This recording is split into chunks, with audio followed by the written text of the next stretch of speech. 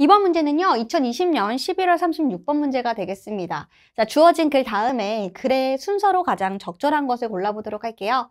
자, 여기 보시면 마크라는 사람이 조사를 했대요. 정도를. 자, 어떤 정도예요? 자, 그 정도에는 이렇습니다. 해서 완전한 문장이 뜹니다. 자, 정보인데 어떤 정보냐면 직업의 정보가요. 흘러가요. 뭘 통해서? 약한. 약한 유대감 대 그리고 강한 유대감. 을 통해서 이 직업에 대한 정보가 흘러가는 그 정도를 알아봤습니다가 되는 거예요. 그럼 이제 유대관계라고 하다 보니 유대관계라는 건 뭘 가리킵니까? 나와 다른 사람들 간의 관계인 거잖아요. 그래서 여기 보시면 뭐예요? 어, 한 그룹의 사람들 사이에서 강한 유대감, 이 약한 유대감, 요 사이에 이 정보의 이 정보의 뭐 어, 정보가 흘러가는 그 정도를 한번 살펴봤습니다. 자, 그럼 한번 들어가 보도록 할게요. 자, 여기 보시면요. ABC가 있잖아요. 자, 여기서 이 부분이 포인트죠. 이것은 의미합니다 라고 할 때 이것은 앞문장이 될 거예요. 조사를 한다, 조사를 했다라고만 나왔고 어떤 걸 조사했는지만 나왔는데 뒤를 보니까 이것은 의미합니다 하고서 뭐라고 나와요? 그들이, 그럼 그들이 가리키는 건 뭔데요? 여기서 그들이라고 할 수 있는 게 나오나요? 안 나옵니다. 그쵸? 자, 이 사람들 사이에서를 얘기하는 것이 아니기 때문에 여기 있는 A부터 들어갈 수가 없어요. A가 먼저 들어가려면 이 this 앞에 앞문장, 이 앞문장을 직접 넣어서 한번 고민을 해볼 거고요. 자, B 같은 경우에는 그들의 정보라고 합니다. 자, 역시 그들의라고 할 때 그들로 쓸 수 있는 사람이 없습니다. 그래서 B 안 되고 C부터 들어갑니다. 자, 그럼 여기 보시면 그가 알아냈습니다. 대절을 이라고 나와 있죠? 자, 봐봐. 우리가 대부분 이렇게 흘러갑니다. 조사를 했고요. 뭐에 대한 조사? 조사는 어떤 거랬어? What?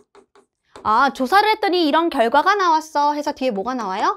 결과가 나오는데 그 결과를 어떻게 해요? found that. 이렇게 표현을 한 거죠. 자, 글의 흐름에 이렇게 흘러가는 내용들이 많습니다. 연구나 실험 같은 것을 했을 때. 그래서 우리가 C로 바로 들어가면 맞을 것 같아요. 자, 그럼 C 한번 가볼까요? C에 뭐라고 되어져 있느냐? 1번. 자, 그가 알아냈습니다. 대절을. 자, 6분의 1입니다. 자, 직업의 6분의 1인데요. 뭘 통해서? 그 네트워크를 통해서 온 6분의 1이 강한 유대감에서 온 거고요. 자, 또 여기 보니까 자, 또 with the rest, 나머지, 6분의 1의 나머지는 뭐예요? 6분의 5죠. 6분의 5는요, 중간 또는 약한 유대감에서 온 건데요. 그리고 약한 유대감으로 통해서 온 건 4분의 1보다 더 많은 양입니다. 라고 얘기를 합니다. 아, 여기까지는 사실 우리가 어, 발견을 한, 그 조사에 발견을 한 내용을 적은 거긴 하지만 이 수치를 가지고 우리가 뭐 알 수 있는 따로 딱 들었을 때 이해될 수 있는 부분들이 뭐가 있을까? 아직까진 별로 없어요. 수치만 얘기를 해줬고 요 뒤부터가 진짜 내용의 시작입니다. 자, 강한 유대 관계는요. can be more, 뭐 하답니까? 호모는 같은 거니까요. 요거를 우리 뭐라고요? 동족, 친화적인 이렇게 할 수가 있습니다. 요거 단어가 어려워서 여기다 이렇게 적어놨죠. 동족 친화적인. 강한 유대감은 더 동족 친화적이에요. 자, 우리의 가장 친한 친구, 그 친구들이 뭐예요?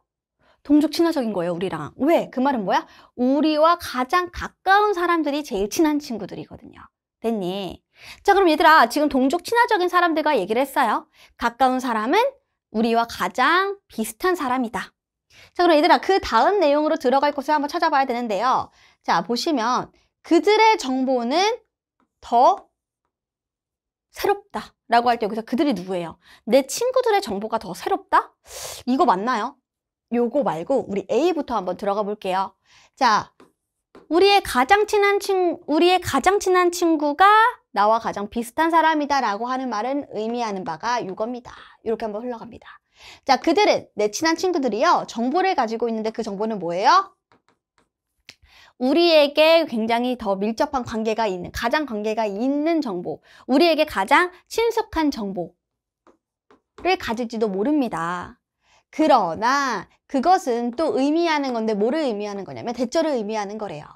대절이 뭐예요? 그것이 정보인데 어떤 정보예요? 그 정보는 우리가 이미 노출이 되어진 정보일지도 모릅니다가 되는 거예요. 자, 우리 좋게 말하면 쌤이랑 우리 친구들이 친구예요. 만나가지고 내가 A를 던졌더니 너희들이 A를 말해. 척하면 척.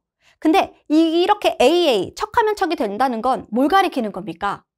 서로가 이미 똑같은 정보를 알고 있다라는 거예요. 내가 이미 알고 있는 정보를 얘가 아니까 맞아 라고 말할 수 있는 거죠. 그죠? 자, 근데 대조적으로요, 우리의 더 약한 관계는요, 자주 어떤 사람들과 함께 이루어지는 거냐면, 거리가 먼 사람들과 이루어지겠죠. 약한 유대 관계라고 하면 우리가 이러잖아요. 몸이 멀어지면 마음도 멀어진다고. 그래서 거리적으로 조금 먼, 지리적으로도 멀고, 또 여기서 보면 뭐예요? 음, 인구 통계학적으로도 거리가 먼 사람들을 우리는 약한 유대 관계라고 얘기를 합니다. 그럼 지금 벌써 여기까지만 읽었을 때 강한 유대 관계와 약한 유대 관계를 살펴봤어요. 자, 그럼 이번엔 B를 가볼게요. 그들의 정보는 이라고 할 때 여기서 그들이 누가 될까요? 바로 위에 있는 여기. 나랑 친하지 않는 약한 유대 관계를 가진 사람들의 정보는 더 새롭습니다. 그쵸? 거리가 멀다 보니까 이 사람과 내가 갖고 알고 있는 것들이 또 다를 수가 있잖아요. 자, 비록 모일지라도 우리가 얘기를 하는데 이 사람들과 덜 빈번하게 얘기를 할지라도 우리는요, so that, so that 용법 기억하세요. 우리가 너무 많은 약한 유대 관계를 가지고 있어서 그들은 결국 뭐예요? 상당한 정보의 원천을 가지고 있게 됩니다. 됐니? 자, 특히나 어떤 정보입니까? 그 정보에는요, 그렇지 않으면 우리가 접근하지 못할 그런 정보를 얻기도 한답니다. 됐나요? 그래서 정답은 몇 번? C, A, B로 갈 수 있도록 정답은 4번으로 골라주시면 되겠고요. 쌤도 실제로 우리 제자들에게 이런 얘기를 많이 합니다. 옆에 있는 제일 맘맞는 친한 친구도 있지만 이 친구만 보지 말고 이 친구 곁에 두면서 또 나랑은 조금 다른 어, 관심사를 갖고 있는 나랑 다른 성향의 사람들도 많이 만나보면 그 사람들을 통해서 내가 배우는 것들이 많다라는 걸. 그게 또 정보일 수도 있고요. 아셨죠? 정답은 4번으로 마무리 짓겠습니다.